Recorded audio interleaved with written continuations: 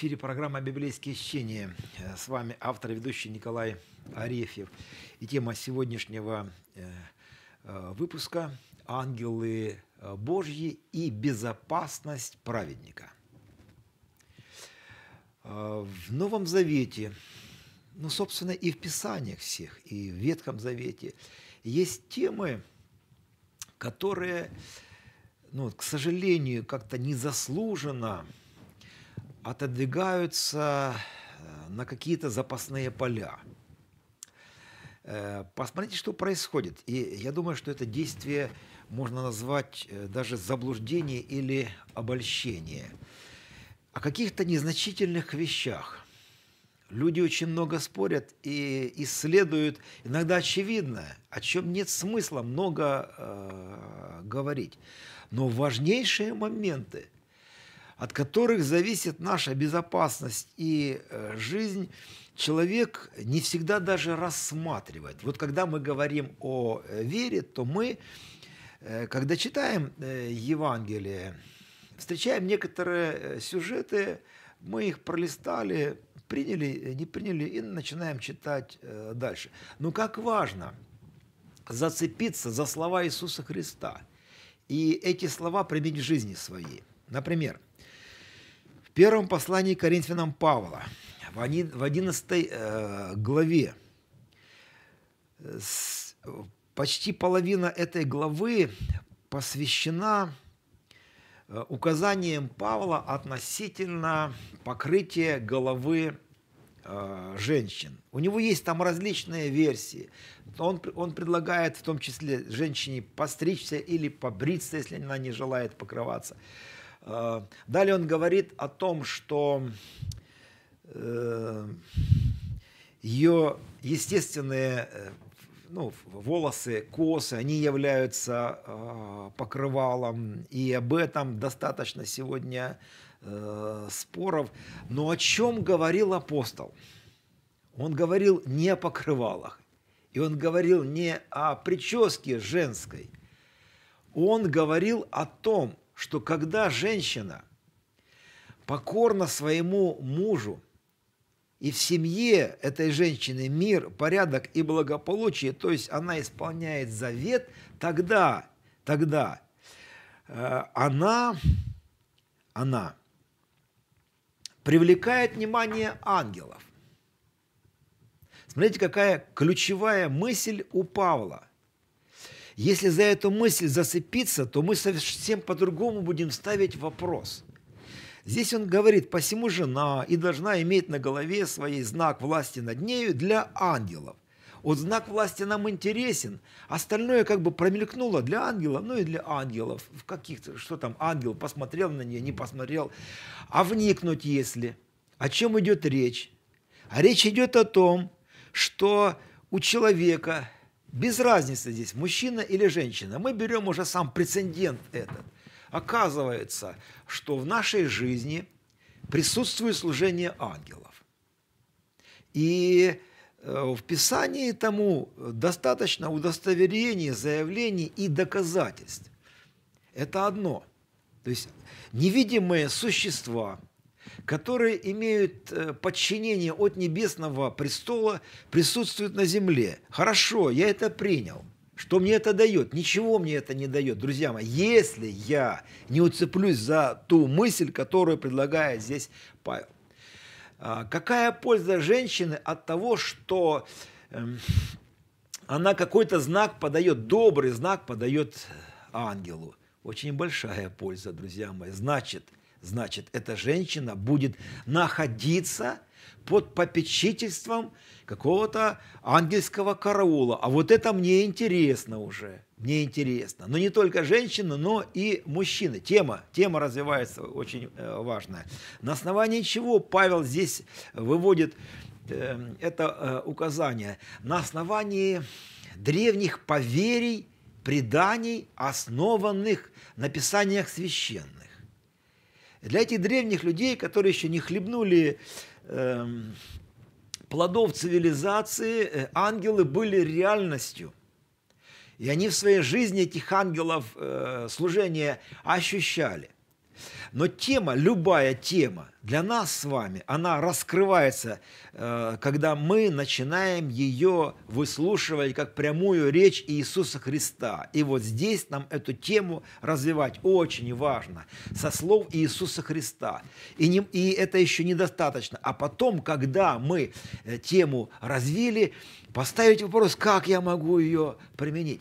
Понимаете, если человек поставит для себя вопрос, это вопрос веры, это вопрос веры, э, что вокруг праведника ополчаются э, ангелы Господни, он будет ставить вопрос так, что мне сделать для того, чтобы вокруг меня было ополчение ангельское? Вопрос на вопрос, а зачем тебе ополчение ангельское? Чего тебе не хватает? Вы знаете, э, до поры до времени нам всего с вами хватает. Но когда ты оказываешься разбитый, расколоченный здесь на больничной э, койке, или у тебя что-то случается не, непредвиденное, ты застрахован, ты здравого разума, у тебя все четко, но неожиданно приходит испытание. Это испытание разбивает тебя в клочья. Вот тогда возникает вопрос, а почему так случилось? А ты праведник. Оказывается, праведником быть недостаточно. И недостаточно пребывать в завете. Но э, когда мы, пребывая в завете, исполняем правду, принимаем верою все, что сказано в Новом э, Завете, без исключения, да, здесь Павел напоминает о покрывалах. Хорошо, мы будем много об этом спорить. Хорошо, мы все будем одевать эти покрывала. Ну, я имею в виду женскую э, половину нашей э, церкви. Но если у меня нет мотивации к тому, а мотивация к чему? Не покрывало одеть, а мотивация к тому, чтобы быть послушной мужу своему. Зачем? А для того, чтобы ты стала объектом э, покровительства ангела небесного от престола исходящего. Мы имеем с вами примеров достаточно о том, как женщины находились под покровом э, ангелов. И, ну, например, ну, из таких высоких примеров, э, Есфирь. Она уже царица Э, императора Артаксеркса. И у нее возникает такая проблема. Ей нужно показаться перед глазами э, царя своего, но это запрещено делать без его личного повеления. И что она делает? Она входит в пост. Смотрите, почему человек входит в пост? Чтобы он был замечен перед престолом. То есть, когда человек замечен перед престолом, тогда начинают работать законы небесного престола здесь на земле. А, только после поста, не своевольно. То есть женщина объявила свое решение перед Господом, и здесь есть своевольный человек, царь.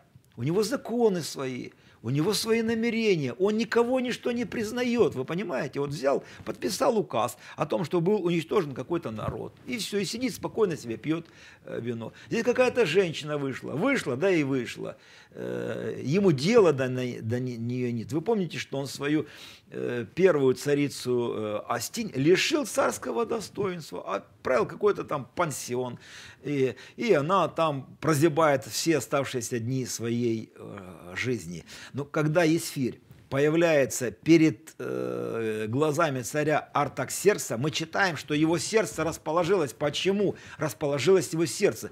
Да потому что ему дал указание ангел Господень. Ангел Господень может дать указание человеку и говорить ему таким тоном и таким э, определением, что человек никогда не ослушается этого э, говора. Вот вам и... Э, мотивация. Мотивация.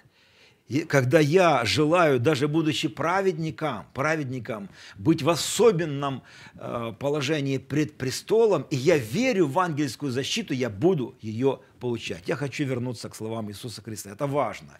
Если Христос о чем-то не говорил, то зачем об этом и размышлять? Если Христос не говорил там о покрывалах для женщины, то я это принимаю как предание, которое Павел нам э, предлагает. Но если Христос говорил, почитай отца своего и мать свою, да, если Христос говорил, что вам не должно разводиться, то есть жене должно уважать своего э, мужа, для меня это закономерность, для меня это принцип, для меня это указание. То же касается и ангела. И он сказал следующее своим ученикам. «Истинно, истинно говорю вам, отныне будете видеть небо отверстным, и ангелов Божиих, восходящих и нисходящих к Сыну Человеческому. Для чего? Для того, чтобы обеспечить служение праведника, святого Иисуса из Назарета. Доказательства их более чем достаточно. Э, мы с вами читаем о том, что пришед в свой родной город Назарет, Иисус проповедует в синагоге, он вызывает гнев своих соплеменников, и они пытаются его подвергнуть казни. То есть они хотели сбросить его с горы, что делает Иисус. Он проходит сквозь них. Каким образом, скажите? а очень простым образом, потому что к нему не сходят ангелы Божьи. Мы читаем об ангельской защите, которую имел Авраам, имел Исаак, имел Иаков, который двигался навстречу своему брату вооруженному и в сопровождении 400 воинов. Но когда он подошел к своему брату, что произошло с братом? Брат буквально растаял. Они обнялись, они поцеловались и разошлись в разные стороны. Почему? Потому что Иаков был по защитой ангельской. Друзья мои, это очень важная тема. Э, вот в наш век, э, век э, прогресса, век развития всевозможных технологий, к сожалению, мы иногда пренебрегаем этим, этим очень важным предложением небесным, ангельской защитой которая всегда действовала. И э, в словах Иисуса Христа открывается в 18 главе Евангелия от Матфея. Это же очень важный момент, очень важный момент. Он говорит следующее. Смотрите, не презирайте ни одного из малых сих, ибо говорю вам, что ангелы их на небесах всегда видят лице Отца моего Небесного. То есть у, у нас с вами, у праведников, которые находятся в завете с Господом, у каждого есть свой ангел, а может быть и ангелы, а может быть целое ополчение. Все зависит от того уровня служения, которое ты несешь пред Господом. Чем высший уровень служения и ответственности, тем большая опасность, тем больше врагов у человека. А враги наши, друзья мои, это не э, кровь и плоть это мировправители тьмы века сего, начальства и власти, духи злобы поднебесных, которые, э, которые э, имеют задачу нас с вами поражать. Почему у нас возникают проблемы э, по жизни нашей? Чаще всего они возникают со стороны людей, людей. Но это не совсем так. Сколько раз мы видим, когда люди поступают неадекватно, они озлоблены, они ожесточены, они дышат угрозами и убийством. Почему? Потому что они возбуждаемы нечистыми силами. Здесь нам может помочь только ангел Господень, который э, от престола посылаем, чтобы нас с вами охранять, защищать, предупреждать э, нечто. В этом отношении очень важна наша с вами молитва и наша э, вера.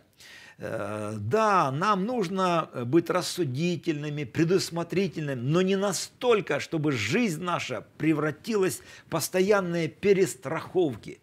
Э, как часто так и бывает. Чего человек боится, то его и постигает. Вера в защиту Божью, в данном случае в сопровождении ангельское, позволяет нам жить без страха этого животного. Как только мы начинаем размышлять о нашей с вами бытности, э, то в самых элементарных условиях мы имеем всевозможные э, нападки, агрессии и всякие случайные обстоятельства. Ежедневно гибнут э, люди в катастрофах, кто-то э, тонет в реке, люди пропадают где-то.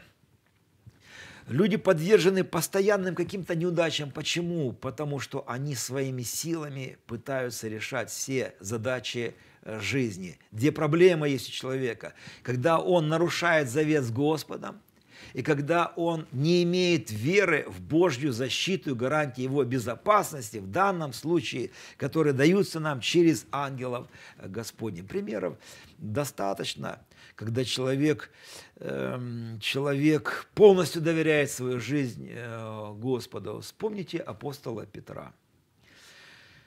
Прежде ареста апостола Петра, это уже книга Деяния, э, был казнен апостол Иаков, брат э, Иоанна. Это серьезный вызов для церкви и серьезный вызов для самого э, Петра. Петр арестован, его товарищ казнен. Вывод очень простой. Завтра он будет казнен. Но не для Петра это слово.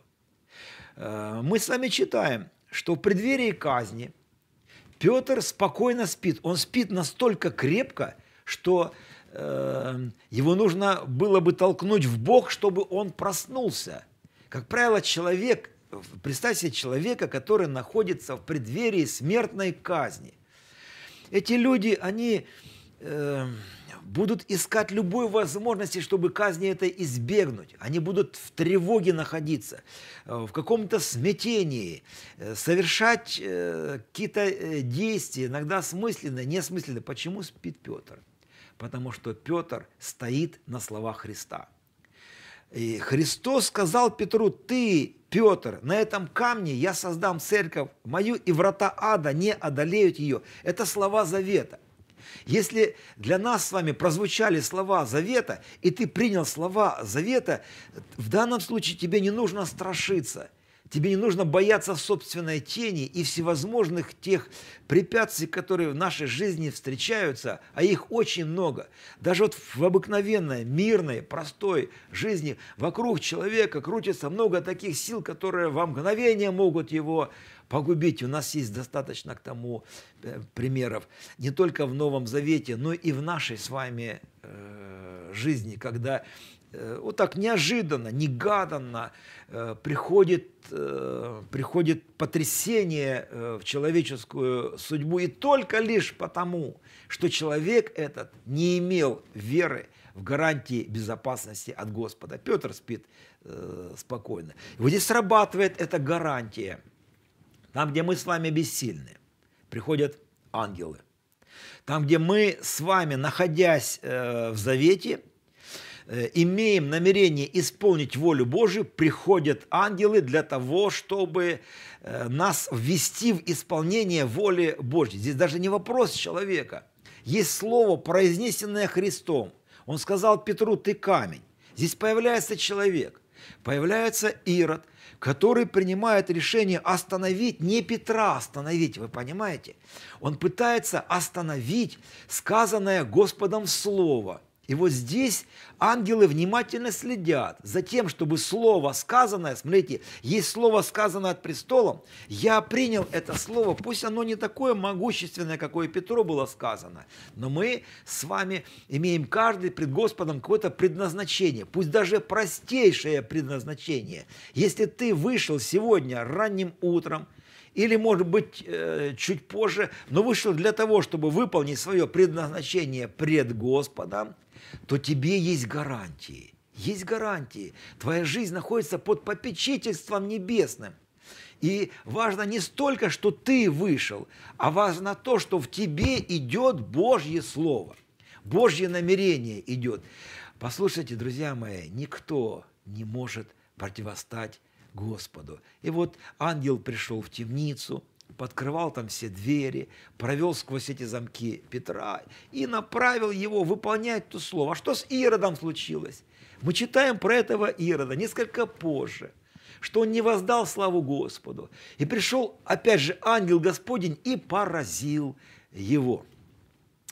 Поэтому наше с вами э, благословение в чем? Когда мы принимаем это обетование Христа, что ангелы наши на небесах видят лице Отца Небесного. А в данном случае они видят лицо Иисуса Христа. И нам с вами не следует забывать, что не только наши с вами имена начертаны, но всех святых. Понимаете, насколько важно уважать всех святых, уважать своих братьев и сестер, понимая – что из наших уст ни одно слово порицания не должно выйти против святых. В Евангелии от Матфея по этому поводу серьезное очень есть предупреждение.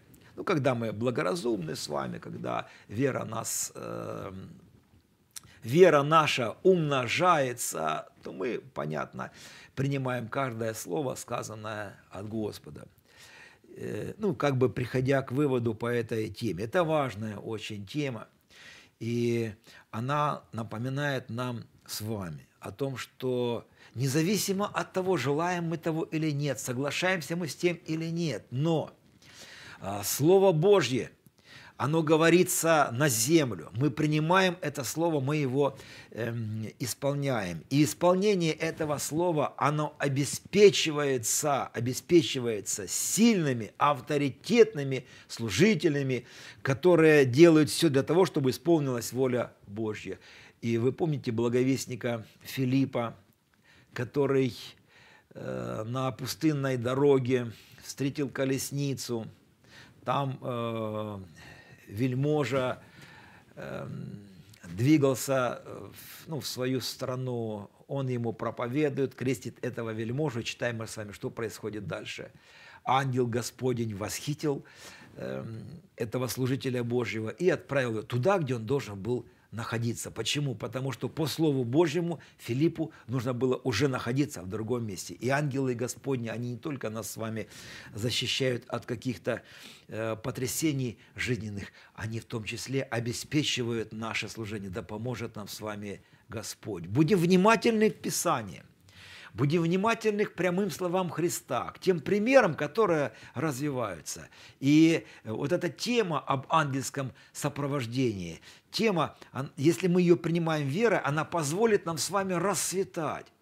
Мы забудем, что такое страх, что такое депрессия, что такое ужасаться, там, тосковать в том числе. Почему?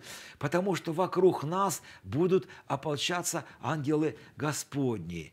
И Последний пример я приведу, когда семь сыновей первосвященника Аскевы, они пытались э, бороться с э, демоном, демоном и услышали следующее, что демоны, оказывается, Иисуса знают, и Павел им известен. Вы понимаете? Почему? Потому что в Завете. И мы с вами в Завете. И когда мы понимаем, что э, завет открывает нам вот такую, э, такой уровень безопасности, тогда мы по-другому будем относиться к Писаниям. Мы тогда спросим, что мне нужно сделать для того, чтобы... И вот это обетование для меня открылось. И тогда женщина, о которой здесь, или женщины, о которых Павел говорит в послании к Коринфянам, они не будут спорить о том, покрывало им надевать или не надевать. Они, они вопрос поставят так насколько эта женщина послушна своему мужу, насколько она благочестива, если у нее нет, скажем, э, мужа, насколько она покорна Иисусу Христу. И она скажет, я сделаю то, что скажет мне Господь. И мне очень важно, чтобы мое служение было обеспечено гарантиями безопасности, в том числе и защитой ангелов Божьих.